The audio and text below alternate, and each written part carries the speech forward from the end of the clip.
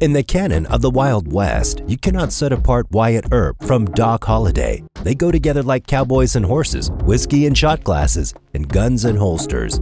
Gary Roberts, the author of Doc Holliday, The Life and Legend, says Wyatt Earp is the hero, the stalwart lawman, the primary figure. Doc Holliday is a 1997 biography of the real-life John Henry Holliday. But Doc is the individual who adds color. People like the guy who tells it like it is and doesn't back down and stands up for what's right. But the person who is the most intriguing is the charming, surly, quick-tempered, loyal, educated one. Now, here are the 10 things you didn't know about Doc Holliday. Some made it into the show, while others didn't. Stay tuned till the end, as number 1 is the most intriguing. Number 10. Earp wasn't Doc's only friend. In many parts of the West, Doc was an oddity. He was an educated Southerner who made his money through gambling so that he could rub people the wrong way. There was a number of people who didn't like Doc for a variety of people, I suppose. He was a person who could be moody, but he had friends in every place that he went, Robert says.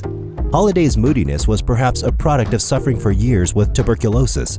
Tuberculosis was often compounded by drinking, and later by the drug laudanum he took for pain. That added to him being a loner. Still, he was longtime friends with the Colorado newspapermen and saloon keepers all the West. He also kept in touch with people he grew up with in Georgia. Additionally, as Doc lay dying in a Colorado hotel room in 1887, practically penniless, guess who came to his rescue? Well, you're right. His fellow gamblers and saloon keepers helped pay his bills. Unlike the scene in the movie Tombstone, Earp was not present when Doc died at the age of 36.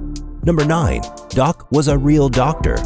Holliday was born in Griffin, Georgia, spent some of his childhood in Valdosta, Georgia, and was educated in the classics. At 19, he moved to Philadelphia to enroll in the Pennsylvania College of Dental Surgery and later practiced dentistry in stops that included St. Louis, Atlanta, and Dallas. He gave it up as he moved around, his health deteriorated, and he found more success as a gambler.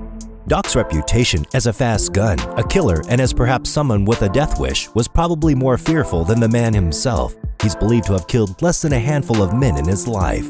Number 8. Wyatt Earp and Doc Holliday weren't that close. Doc and Earp were indeed friends. In the 1881's famous gunfight at the OK Corral, the two fought in Tombstone, Arizona, but they had met four years earlier while passing through Texas. In between, they had crossed paths, but it's not like they went everywhere together. Doc is frequently portrayed as if he's kind of Wyatt Earp's sidekick, almost like a lapdog who was there on hand always to help Wyatt out, and Wyatt was indebted to him.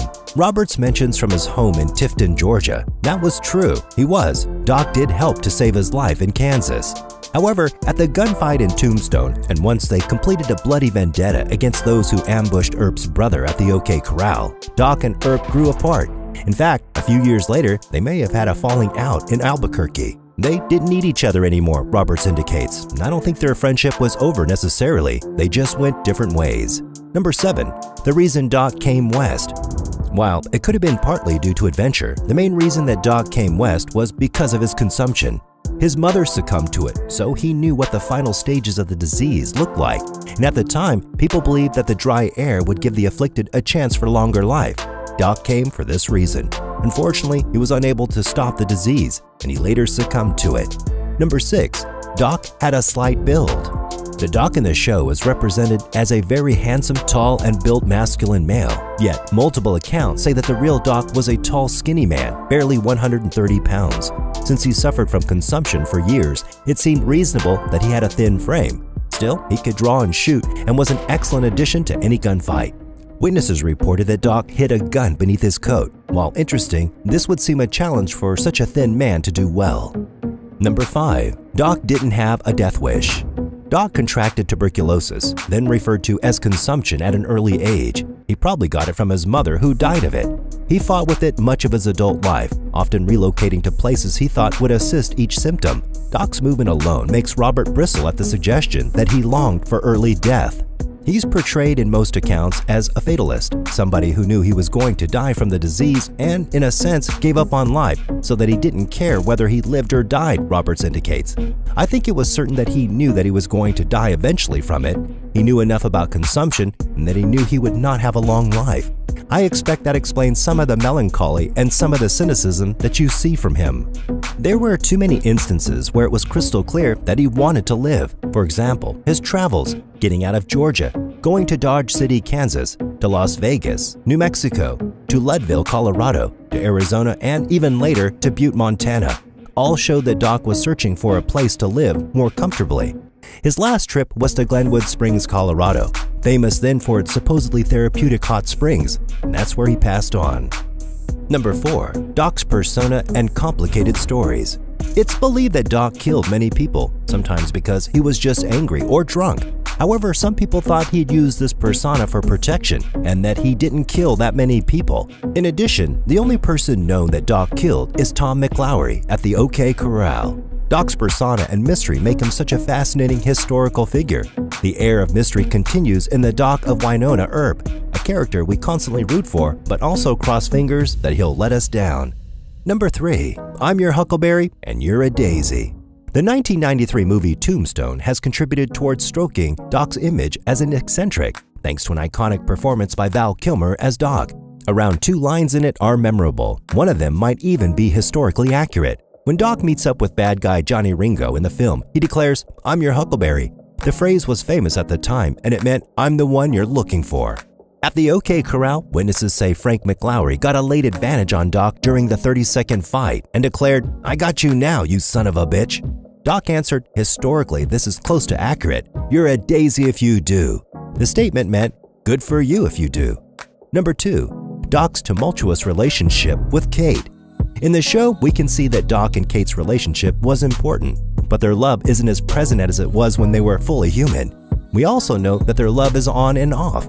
This nature of their romance stems from history. At times, Kate got referred to as Doc's wife. They moved around together and also lived together. Also, Kate was rumored to help Doc out, setting fire to a shed to divert attention from Doc as he supposedly knifed a local. However, this story might just be a legend as the couple themselves. These two were on and off for years. While Doc had an appetite for women, Kate was the only one that was long term. Number 1. Doc was a mama's boy. The real Doc was very close to his mother, and some would have said she spoiled him. As a result, when she died, it was hard for Doc. Supposedly, she had spent more time with him because young Doc had a speech impediment and other health problems. Regardless, Doc grew to have a solid bond with his mother. The fact that she died of consumption made things worse and was probably in his mind when he also came down with consumption. Well, those are the 10 things you didn't know about Doc Holliday. Did number 1 amuse you? We hope you enjoyed our video, and be sure to give us a thumbs up and share it. We value your feedback. Share your thoughts with us in the comments section, and also subscribe to our channel and ring the notification bell to get notified when we upload new and interesting content. And until next time, goodbye.